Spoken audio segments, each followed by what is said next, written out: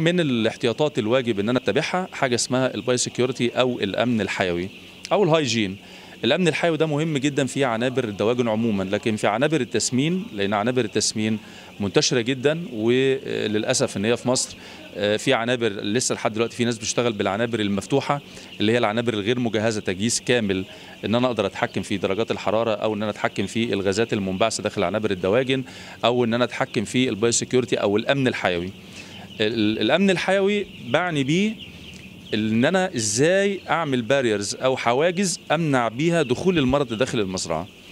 إحنا هنا بيبتدي الأمن الحيوي بتاعنا أول حاجة من اختيار المكان.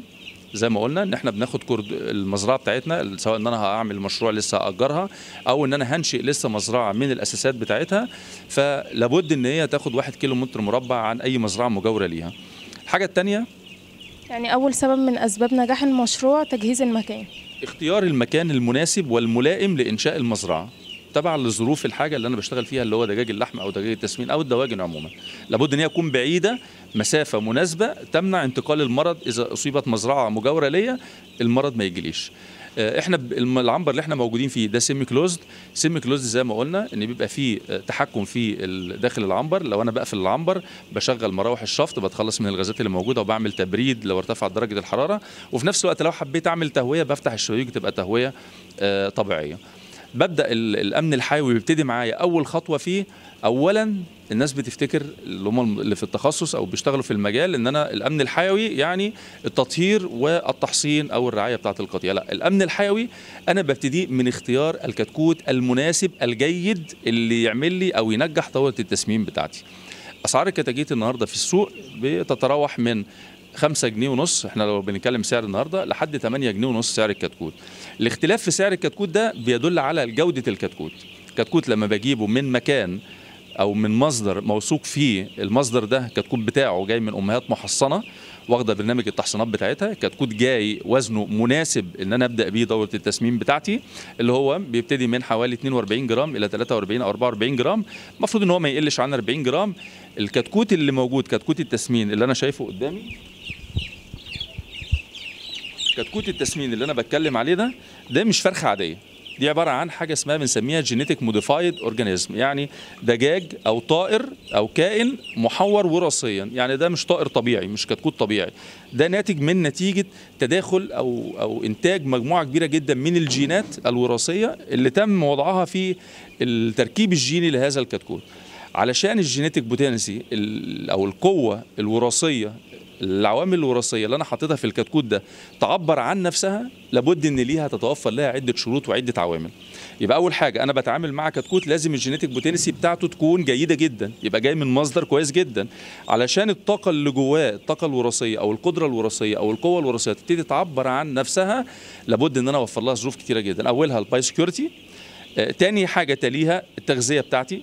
التغذية لازم أغذي على علف كويس جدا العليقة اللي أنا هغذي عليها تكون عليقة كويسة جدا وبتبع برنامج علايق أو تغذية مرتبط بعمر الكتكوت. كل مرحلة في العمر الكتكوت ده من عمر zero يوم أو zero day عمر يوم أول ما بستلمه في المزرعة لحد 35 يوم. لو قلنا دورة التسمين أو الدورة بتنتهي في هذا الوقت عند 35 يوم لابد إن يتبع برنامج غذائي بيعتمد على أربع مراحل أو ثلاث مراحل حسب ما أنا بشتغل. كل مرحلة مرتبطة بنمو الكتكوت واحتياجاته الغذائية في هذه الايه في هذه المرحلة. يبقى أول حاجة أنا بتكلم فيه إن أنا إزاي أعمل أمن حيوي للمزرعة بتاعتي إن ما يحصلش لها إصابة إن أنا أحصل على أعلى معدل ربحية أو أعلى ربح للمزرعة بتاعتي لابد إن أنا أختار أول حاجة كتكوت جيد. كتكوت جيد يعني جاي من شركة موثوق فيها أو من مصدر موثوق فيه معروف تركيبه الوراثي القوة الوراثية بتاعته هتقدر تعبر عن نفسها تعبير جيد.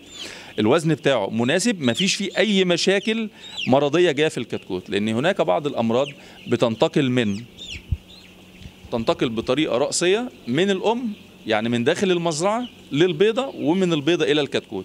زي السالمونيلا مثلا. السالمونيلا دي مرض بيصيب الكتاكيت في ممكن يجي لي من الأمهات إلى المزرعة.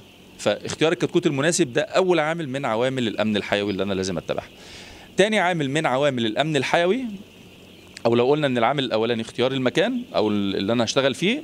العامل الثاني اختيار الكتكوت الجيد من مصدر موثوق فيه. العامل الثالث هو إزاي امنع دخول المرض للمزرعة عندي.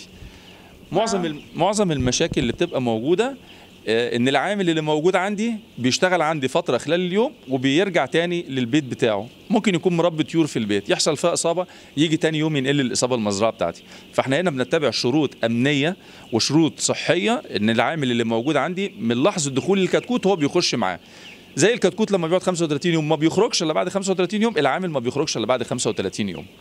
بالإضافة إلى مجموعة من ال ال ال ال العوامل أو مجموعة من ال- ال- العمليات اليومية اللي إحنا بنعملها زي مثلا إن إحنا بنحط دايما حوض بيبقى موجود خارج المزرعة اولا ممنوع أي حد غريب يخش المزرعة. يعني غريب يعني يعني ما دخلش المكان قبل كده لسه جاي.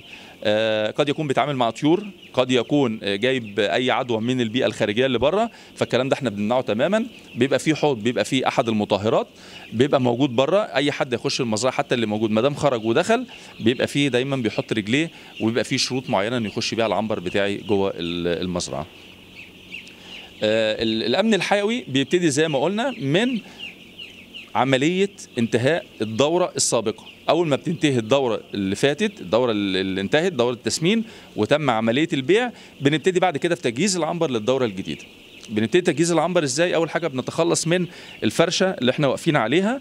الفرشة دي بعد نهاية الدورة بتحمل مجموعة من الأمراض والفضلات بتاعة الطيور مع الفرشة نفسها اللي هي بتبقى نشارة الخشب أو التبن أو الفرشة anyway أي فرشة أنا بستخدمها أو أي مادة ماتيريال أنا بستخدمها.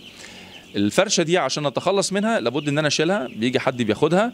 طبعا التخلص منها هنتكلم فيه آه، إزاي إن أنا أتخلص من المخالفات المزرعية. هنخليه جزء لوحده. آه، بعد ما بتخلص من الفرشة بعمل عملية آه، كنس وكحت لكل المواد الصلبة اللي بتبقى موجودة. داخل العنبر اللي هي الفضلات اللي بتبقى موجودة صلبة لسه ملتصقة. بعمل لها كحت وتنظيف. آه، بعد كده بعمل عملية غسيل بأحد ال- المي بالمية وأحد المية الأول وبعد كده بعمل تنظيف بأحد ال disinfectant أي منظف من المنظفات. وبعد بعد عملية التنظيف بنستخدم أي اي مادة مبخرة زي الغاز الفورمالدهايد. وحاليا دلوقتي إحنا بنستخدم حاجة اسمها ال fumigary. ال fumigary ده نوع من أنواع الغاز برضو مادة مبخرة. آه، بتخش جوه ال- الثقوب وجوه أي شقوق موجودة داخل العنبر بحيث تعمل لي تطهير عشان اتخلص من الفيروسات والبكتيريا اللي موجودة.